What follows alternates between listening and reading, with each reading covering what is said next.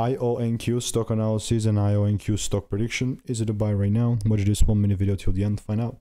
Yeah, IONQ is sitting at 12.04, 15% off for the day or so. And I personally am what? I'm personally quite biased towards the bullish side.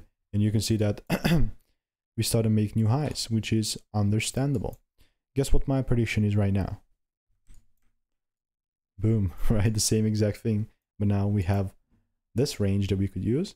And obviously I'm not going to buy unless the price pulls back into my demand area and gives me that decent double break. So the way that I'll do that is wait for it to pull back into my demand area. If it gives me that double break, then and only then I'll buy.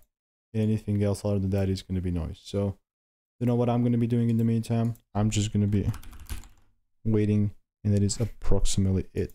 So if you wanted to make more money by taking less trades, click the first link in the description. I'll see you in the next one.